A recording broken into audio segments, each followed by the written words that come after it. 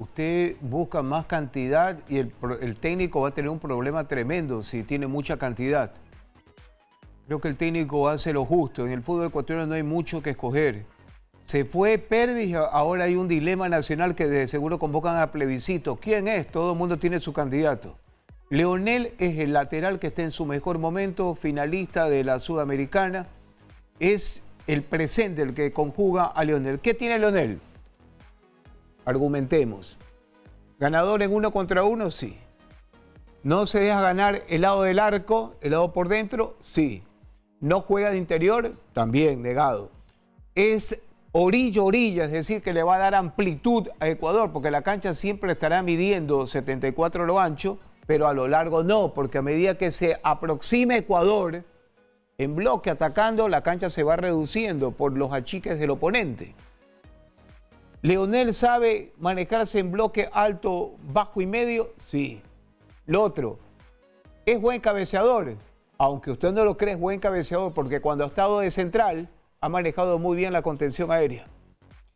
¿Es un jugador de desafío? Sí, señor. No entierra el hacha de combate tampoco, porque cuando hay que dar, va al frente. En duelo, ganador. No se deja ganar al lado de espalda, de la espalda, de su espalda. El otro es Beder Caicedo. ¿Quién está en mejor momento, Beder Caicedo o Leonel, que escoge el técnico?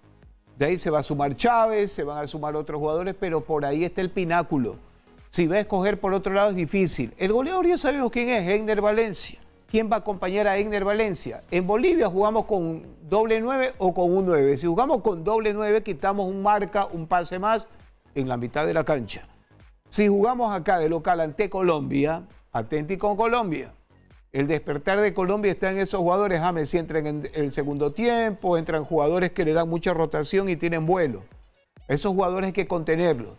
¿Quién va a ser el 5? ¿Se lo va a convocar a Méndez o no? Por eso le preguntaba a usted, que usted es muy sabio, sabe todo. ¿Quiénes son? Ya sabemos a quiénes va a convocar el técnico. El técnico no le gusta hacer experimento. Para usted, ¿quiénes son los jugadores que deberían estar y no van a ser convocados? Esa es la pregunta. Que deberían estar y no van a ser convocados.